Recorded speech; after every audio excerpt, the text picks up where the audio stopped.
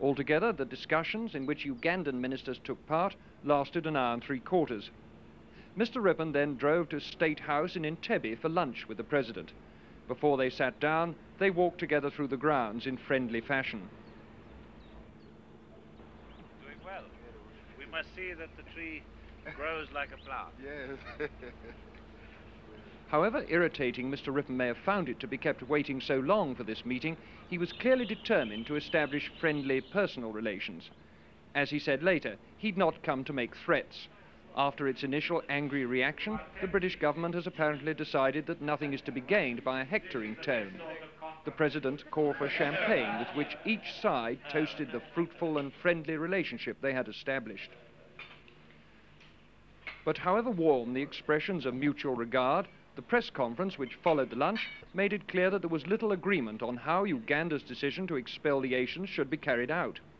Through the discussion I have discussed with the minister and especially concerning the Asian, uh, I had made it uh, clear that uh, I am not changing my mind that the Asian uh, who as British citizens they will have to go to England and uh, he has accepted that and uh, in a very friendly and a fruitful discussion which we have with him.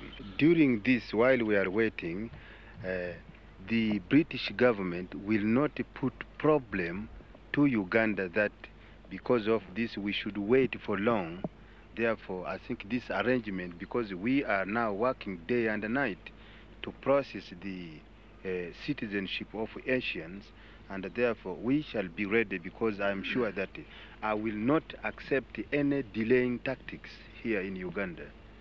Though Britain now accepts that President Amin will expel the Asians, there's clearly no agreement on how this can best be done.